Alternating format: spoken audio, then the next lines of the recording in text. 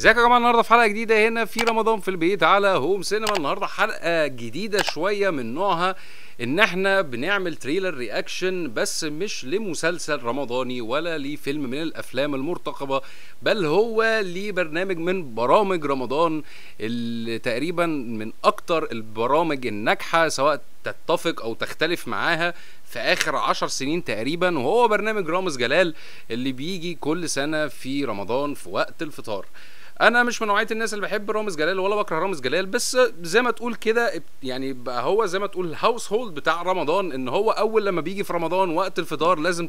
تشغله وتتفرج على حلقة رامز جلال بإعلاناتها بحاجاتها بابا غنوجها بكل حاجة على الرغم إن الحلقة ممكن تبقى ربع ساعة وحرفيا بتيجي في التلفزيون في ساعة. المسلسلات هتنزل بكرة في آه، أول يوم عرض تقريبا مش عارف إذا كان هيبقى على إم بي سي مصر ولا هيبقى على دي إم سي وسي بي سي وكله ولا إم بي سي مصر بس لأن كانوا قالوا إن المسلسلات هتتعرض من النهارده لأن الحلقة بتاعت النهارده دي بتتصور يوم الحد النهارده إحنا يوم الحد فكانوا قايلين في ام بي سي مصر إن الساعة 8 تقريبا في مسلسل لحم غزال ومش عارف الساعة 9 ونص تقريبا في المسلسل بتاع أمينة خليل. وسمعت برضو إن محمد رمضان المسلسل اللي هو موسى تقريبا الساعة 9 على دي إم سي ف معرفش إيه اللي خلاهم غيروا فكرة إن هم مش هيبقى فيه مسلسلات النهارده. فمع أنا بصراحة ما عنديش أي فكرة يعني. آه النهارده الحلقة اللي انا خلينا اعملها النهارده على إيه آه على رامز ان أنا مش من نوعيه الناس زي ما قلت من شوية اللي بكرهه ولا بحبه بس في كذا حد طلب مني ان أنا اعمل trailer reaction لبرنامج رامز. فتمام يعني مش يعني مش حابب ان أنا ازعل حد خصوصا إحنا داخلين على رمضان وبتاع. ف يعني أنا اللي خلاني اعمل teaser reaction لكل المسلسلات واللي خلاني اعمل trailer reaction لكل المسلسلات. فمش هيجي يعني على البرنامج الغلبان ده وخلاص. فنعمله trailer reaction بالمرة عشان محدش يزعل مننا يعني. زي ما بعمل لكم trailer reaction بقى بعد إذنكم بقى ظبطوني بقى لايك وكومنت وشير وسبسكرايب للشانل بتاعتنا على هوم سينما إن شاء الله بإذن الله حلقتنا بتاعه ال live بكرة. طبعا كالعادة ما اشوفش التريلر بتاع البرنامج ولا مرة هشوفه معاكم دلوقتي لأول مرة. يلا بينا. رمضان كريم وكل سنة وأنتم طيبين. الخوف ملوش كبير. الرعب أنواع. وأنا بفضل أقوى نوع. الخطر مستويات. وأنا دايما بختار أعلى مستوى.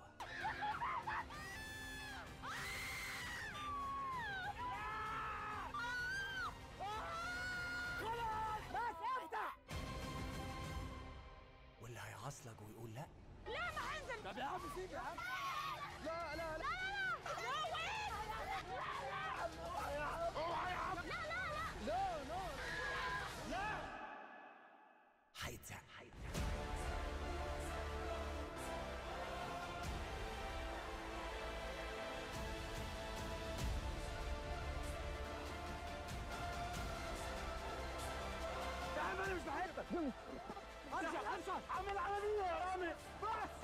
بس يا رامز بجد.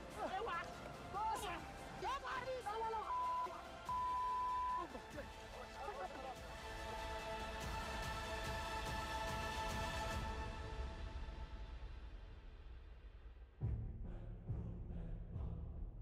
واللي يقول لك رامز مش جاي السنة دي؟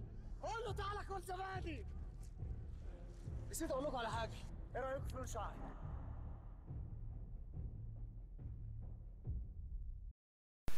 أوكي آه ماشي حلو برضه يا جماعة يعني شغال تمام يعني ما ما فيش أي حاجة تزعل آه في برنامج رامز اللي إحنا بنتفرج عليه المعتاد بتاع كل سنة.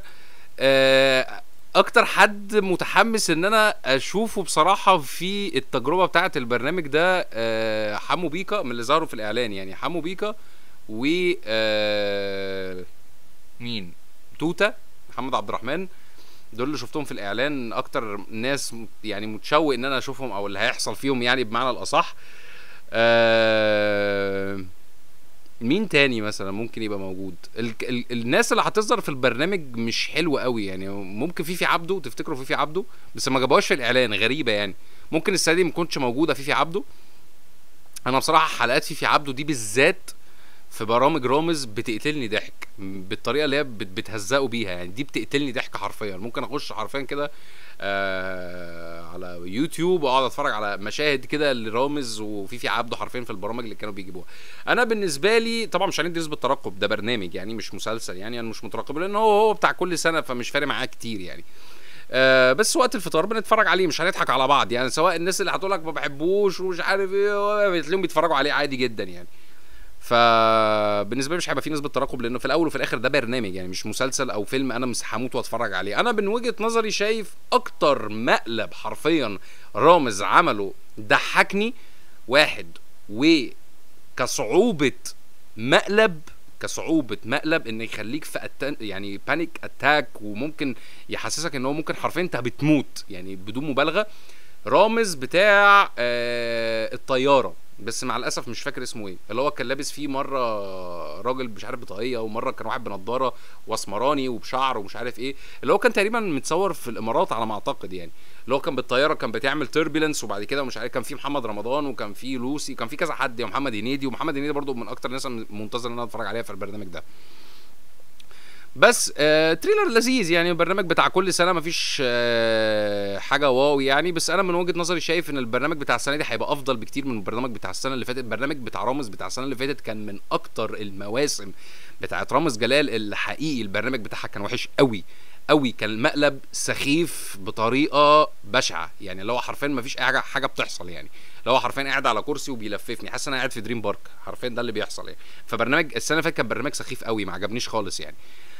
أتمنى إن هو يبقى أحسن من بتاع السنة اللي فاتت يعني أتمنى. بس ما أعتقدش إن هيبقى فيه واحد ما أعتقدش إن هيبقى فيه برنامج رامز هيبقى أقوى من المقلب اللي أنا كنت بقول لكم عليه ده اللي هو بتاع الطيارة. بتاع الطيارة ده بصراحة كان شنيع يعني. يعني لو كان لو حصل معايا موقف زي ده مثلا اللي هو بتاع الطيارة ممكن حرفيا أموت فيها يعني. أصل بتاع الطيارة ده بالذات اللي يخليك في ال attention ده ده ما فيهوش هزار. أصل طيارة يا هتعيش يا هتموت حرفيا يعني. زي المقلب برضو بتاع اللي هو الرمال المتحركة ده كان في شاروخان. بس ما عنديش أي حاجة تانية أقولها. آه ليه برنامج رامز عقله طار؟ إن شاء الله بإذن الله الحلقة اللي جاية هيكون آخر trailer reaction هنعمله في رمضان السنة دي وهو كوفيد 25 بتاع آه يوسف الشريف. آه بس ما عنديش أي حاجة تانية أقولها عن برنامج رامز عقله طار. أتمنى الحلقة تكون عجبتكم. إن شاء الله أشوفكم في فيديوهات تانية قريب. ما تنسوش تعملوا subscribe like و share لو الحلقة عجبتكم. ما تنسوش برضه تعملوا subscribe لل channel التانية اللي اسمها هو مالون هسيب لكم ال link بتاعها في ال description ولو حابين تعملوا لي follow like على فيسبوك وتويتر وانستجرام برضه هسيب لكم ال links في ال description و bye bye.